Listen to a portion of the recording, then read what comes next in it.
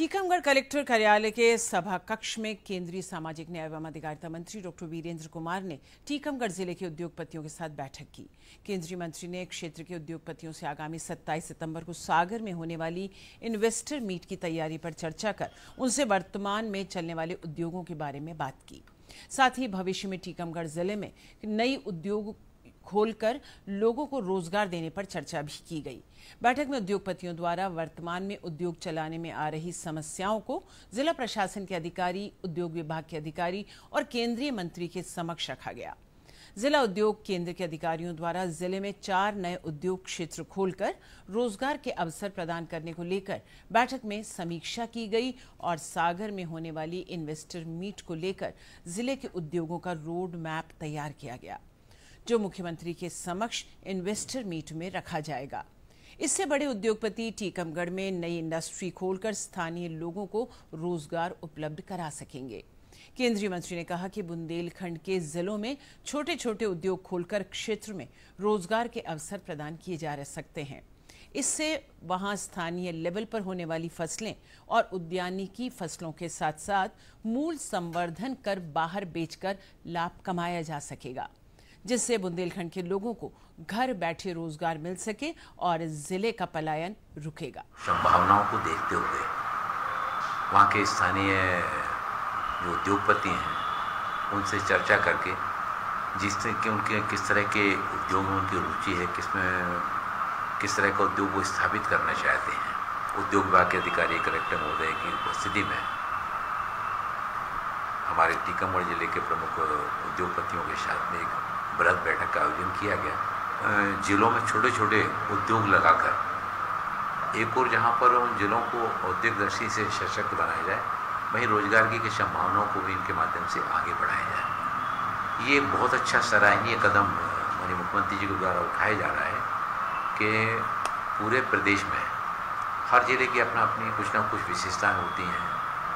कुछ अपना प्रोडक्ट होता है, कुछ विशेष उत्पादन होता है। वहाँ की उन चीज़ों को लेकर आने वाले समय में जिलों में उद्योग बढ़ाए जाएँगे, जिसमें उद्योगों के साथ साथ संबंधित क्षेत्रों में रोज़गार भी बड़ी मात्रा में लोगों को अवसर उपलब्ध टीकमगढ़ में उद्योग, नए उद्योग विकसित हों, पुराने उद्योगों को क्या समस्याएँ उसके लिए ये बैठक आयोजित की गई थी। हम लोगों ने सुझाव दिए हैं। टीकमगढ़ में फोर लेन कनेक्टिविटी होना चाहिए। टीकमगढ़ की जो विद्युत है सप्लाई है, उसको निर्बाध रूप से मिलना चाहिए। वहाँ जो इंडस्ट्री जो चल रही हैं, जिनको कच्चे माल की आवश्यकता नहीं हो पा रही है, उसके लिए खनिज नियमों में खनिज आर्थिक उद्योग की जो मृतपा व्यवस्था हो गई है, उसके लिए खनिज नियमों में संशोधन करके और सारी जो चीज़ें हैं छोटी छोटी चीज़ें हैं, उनको ठीक करके हमारे यहाँ खनिज का आधारित उद्योग लगेंगे। हमारे यहाँ कृषि प्रसंस्करण उद्योग लगेंगे। छोटी छोटी चीज़ों को सुधार करके हम बड़े लक्ष्य तक पहुँच सकते हैं। जैसे कि आपने खबर देखी टीकमगढ़ में सत्ताईस सितंबर को इन्वेस्टर मीट होने वाली है और इस बारे में केंद्रीय मंत्री डॉक्टर वीरेंद्र कुमार ने चर्चा की है। हम जानते हैं अपने संवाददाता सुधीर जैन से। सुधीर टीकमगढ़ में जो चर्चा हुई केंद्रीय मंत्री के साथ उस बारे में आप विस्तार से बताइए। टीकमगढ़ में जो उद्योग केंद्र खोलने की केंद्रीय मंत्री ने बैठक ली जो सत्रह सत्ताईस सितंबर को सागर में इन्वेस्टर मीट होने वाली है। उसकी तैयारियों को लेकर टीकमगढ़ कलेक्टर सभा कक्ष में ज़िले के समस्त अधिकारी उद्योग विभाग के अधिकारी कलेक्टर ने ज़िले के जितने भी उद्योग इंडस्ट्रियल है उनकी बैठक की उनसे बात की कि जो वर्तमान में जो उद्योग चल रहे हैं उनमें क्या समस्याएँ आ रही हैं और इनमें क्या सुधार करके इनमें रोज़गार के अवसर कैसे नए और तैयार किए जाएँ जिससे स्थानीय लोगों को रोज़गार मिल सके। इसके लिए चर्चा की। साथ में उन्होंने ये भी कहा है कि जो टीकमगढ़ ज़िले में चार नए उद्योग केंद्र खोले जा रहे हैं सुनौना क्रिया खड़गापुर जतारा और लिधौरा में जो नए उद्योग केंद्र खोले जा रहे हैं उनको ज़मीन आवंटित की करने की तैयारी कर ली है।